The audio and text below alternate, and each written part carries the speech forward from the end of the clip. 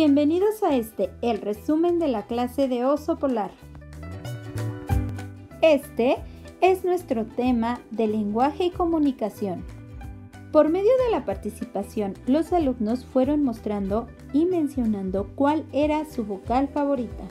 Posteriormente se proyectaron algunos ejemplos en imagen que contenían todas las vocales.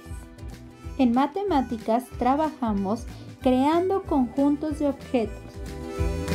Compartió pantalla a los alumnos mostrando algunos ejemplos de conjuntos, en este caso de animales y de transportes. Se pidió formar diferentes colecciones con los objetos que tenían en casa. Esta fue la clase de Oso Polar con Miss Ale. Nos vemos mañana.